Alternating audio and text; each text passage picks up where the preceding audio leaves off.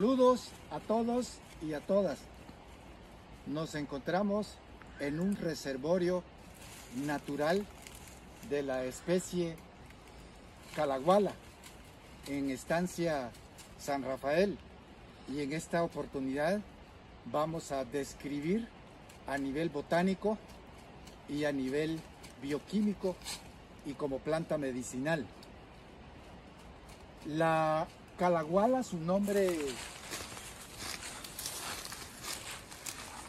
botánico o científico es Plebodium decumanum, que es precisamente esta especie que vamos a describir, que vulgarmente se le llama calaguala. Pertenece a la familia de las polipodiáceas. Es una de las plantas más antiguas de la Tierra o de la humanidad, conjuntamente con otras como la cola de caballo o Equisetum herbense y el culatrillo de pozo. Este otro que tenemos acá, que se utiliza mucho para la bronquitis. Bien, la calaguala normalmente se da en los bosques húmedos. Aquí arranqué un pedazo.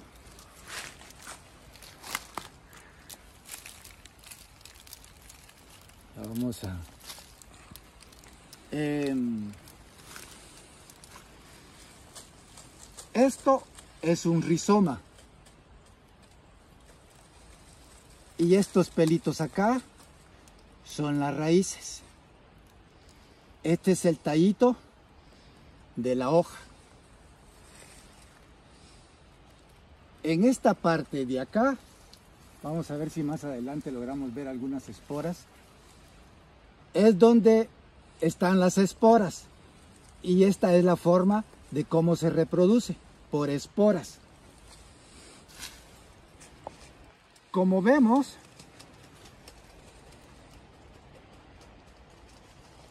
esta planta, cuando le empezamos a quitar todos los, los tallitos, pelitos, raíces pequeñas, podemos ver algo interesante. Este es un helecho.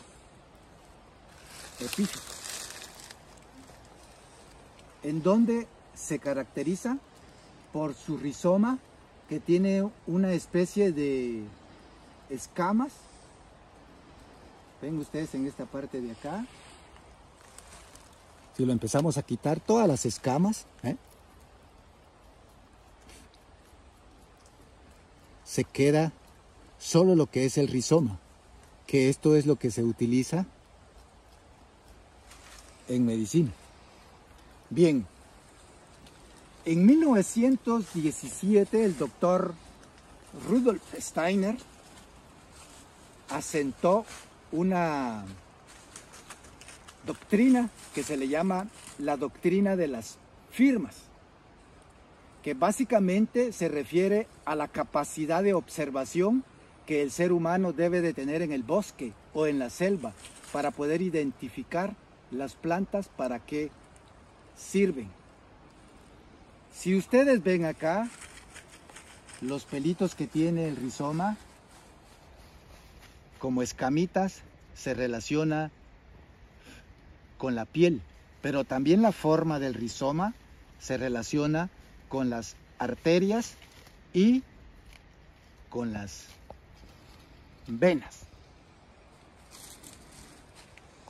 En la década de los 80 yo no me explicaba por qué cuando estudiaba naturopatía un profesor nos dijo, en Honduras se están comprando los derechos de la calaguala, una empresa europea. Y yo no me explicaba por qué.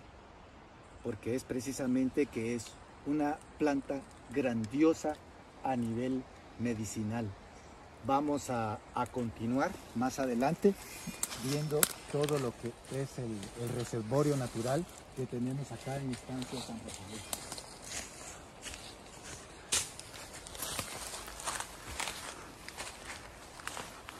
Supuesto que acá, acá tenemos eh, algunas plantas arbóreas, como este que es el encino, Quercus acatenalensis.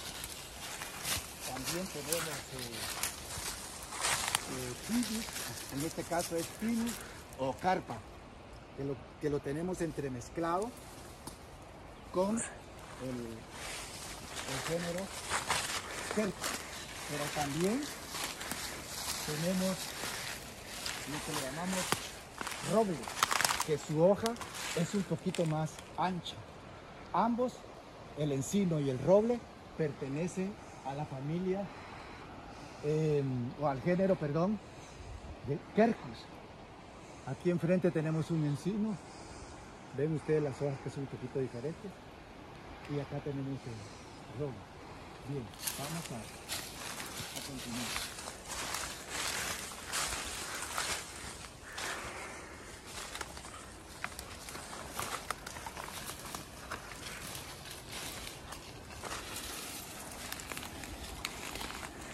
Eh, aquí continúa el reservorio. Estamos hablando de unos 1.200 metros cuadrados de reservorio natural de Calaguala.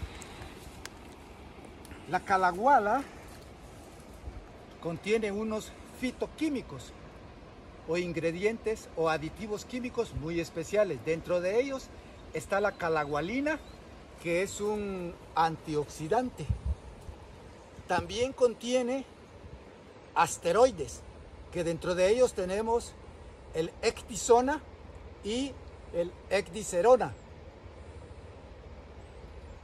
muy importantes en, en medicina natural. También tenemos flavonoides.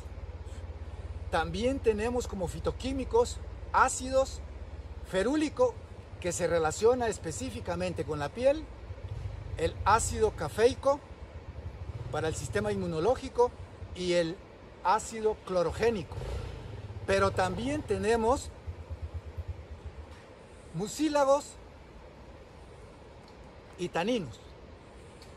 Bien, esta planta en cocimiento o en té, tres tacitas o cuatro tacitas diarias para la diabetes para purificar la sangre, pero hay algunas enfermedades difíciles de curar que dentro de ellas tenemos el vitiligo y la psoriasis. La psoriasis son como escamas que se nos forman en la, en la piel, son rosadas, escabiosis, digamos. Eh, y ven ustedes la relación del rizoma que tiene escamitas y por eso está vinculado con la psoriasis, una enfermedad grave de la piel. También tenemos el vitiligo. El, vitiligo es una despigmentación de la piel, manchas que aparecen en, diferentes áreas del cuerpo. Y es básicamente una disfunción de la melanina. La melanina eh, tiene que ver con la despigmentación o la pigmentación a nivel de la, de la, piel. Pero esto también se vincula a nivel del ácido ferúlico que mencionaba, porque ambos protegen a la piel contra los rayos solares. Y esto es bien importante entenderlo. Viendo esto, también asumimos que en la partecita del rizoma, digamos en la, en la epidermis y dermis, del, digamos del, del rizoma, también seguro existe una concentración de, de sílice, o digamos en otras palabras, sílice o, eh, ácido ortosílico, que es el que se asimila. Y ese protege o transforma, digamos, los rayos ultravioleta a, fotones asimilables o de salud hacia el cuerpo humano. Hay otra, otras enfermedades que le llamamos la artritis reumatoide y lo que le llamamos gota, en donde normalmente influye el ácido úrico. Entonces, el extracto o el cocimiento de esta planta actúa como una escobita como, como para barrer, para limpiar todas las venas, las arterias, los vasos capilares, para que la sangre pueda eh, fluir. De ahí también se deriva a través de todos los fitoquímicos que contiene, que activa la microcirculación de la sangre. Y cuando decimos eso, automáticamente lo vinculamos con enfermedades como impotencia sexual, porque a nivel de los genitales lo que se hace es que se activa la microcirculación. Y al activar la, circulación hay más oxigenación. Y entonces pues eh, se corrige la disfunción erectil o, lo que le llaman digamos impotencia sexual. En Honduras hacen un, brebaje, un preparado especial como que si fuera chicha y, lo venden muy popularmente y, se le atribuye eh, propiedades... Mm, para la impotencia sexual, pero realmente eh, eh, es la calaguala la que actúa a este, a este nivel. Por otro lado, es importante decir que a nivel de la piel tenemos llagas, escabiosis, dermatitis, espinillas, granos, forúnculos. Entonces, la, la calaguala actúa purificando la sangre, porque actúa a nivel del hígado, a nivel del vaso, a nivel de los riñones, a nivel de la vesícula biliar, activando más em, líquido biliar para em, purificar la sangre, porque sabemos que el hígado es un, es un filtro para el organismo, para detoxificarlo de metales pesados, pero también de, otras eh, eh, sustancias. Entonces, esto es importante entenderlo porque purificar nuestra sangre significa reducir. La vejez, significa que nuestra piel va a ser más bella, va a ser más joven, pues por lo que decía de la de la protección de los rayos ultra, ultravioleta, pero también cuando se limpia la sangre empieza a repercutir con todos los, los, los órganos. Es un antiinflamatorio muy, muy, muy bueno. De ahí entonces que cuando lo vinculamos con glándulas como el hígado, el páncreas, los riñones, la vesícula biliar, automáticamente esto se vincula con la diabetes. Entonces aquí tenemos también una respuesta para, para esta enfermedad eh, muy común en todo el, mundo. Entonces em, es importante reconocer esta, esta parte porque tenemos un recurso natural que podemos aprovechar, que tenemos que eh, propagarlo, protegerlo, cuidarlo.